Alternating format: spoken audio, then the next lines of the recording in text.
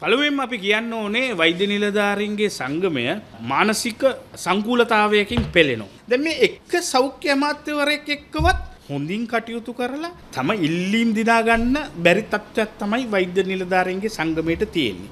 වෛද්‍ය නිලධාරීන්ගේ සංගමයට අවුරුදු 90ක ඉතිහාසයක් තියෙනවා. වර්ෂ 2000 විතර වෙනකන් මේ රටේ තිබ්බ ස්වර්ණමය වෛද්‍යවරුන්ගේ ස්වර්ණමය යුගය වෘත්තීය සමිතිය අවභාවිතා කරනවා. මොකටද මේක කරන්නේ? ඉතින් හරි පැහැදිලි පසුගිය මාස දෙකක ආණ්ඩුවක් තිබ්බා. ඒ ආණ්ඩුවේ වෙලාවේ ගිහිල්ලා ඒ අද වත්මන් විපක්ෂ නායකවරයාගෙන් ඒ සංගමයේ ප්‍රධානින් ගිහිල්ලා ඉල්ලුවා අපිට මේ ජාතික ලැයිස්තුවෙන් පාර්ලිමේන්තු මන්ත්‍රී ධූර දෙකක් දෙන්න. අද ඒ සැලැස්මක් යන්නේ මේ දේශපාලනයට එමට. ඒ නිසා අපේ වෛද්‍යවරුන්ගේ මේ වෘත්තීය ගරුත්වය කෙලසන්න එපා කියලා මං ඉල්ලා සිටිනවා. පැහැදිලිව කියන්න ඕනේ නිදා ශ්‍රී ලංකාව 48න් පස්සේ බී වෙච්ච සාර්ථක මැමතිවරයා රාජිත සේනාරත්න වෛද්‍යවරයා කියන එක අපිට බය නැතුව කියන්න පුළුවන්. කිසිම වෛද්‍යවරයෙක් අද වෙන්දි විරෝධතා දක්වනවද මේ රාජිත ඇමතිවරයාට වෙර. ඔය පොඩි පෝස්ටර් ටිකක් එහෙම මෙහෙන් ගහලා අයි ඉතින් වෛද්‍ය සංගමයට දැන් තියෙනනේ මිලියන 90ක් තියෙනවා රුපියල් අවුරුද්දට එක්රැස් වෙනවා. මිලියන අනුව කාබාසිය කරන හැටි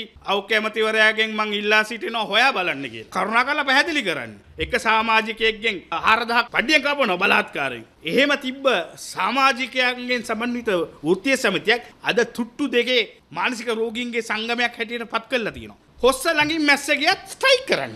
සයි කරලා ලොකු ඉල්ලීමක් දින්න වගේ හම්මෝ අපි ජයග්‍රහණය කර අපෙන් සමාව ගත්ත කියලා අත්පොලොසන් දුන්න ඉගොල. මතක තියාගන්න මේ රටේ ඉන්න ජනතාව මේ එකක් දිහාවත් බලාන් ඉන්නේ සතුටෙන් නෙමේ. අද වෛද්‍යවරුන්ට පාරේ බැහැලා යන්න බෑ.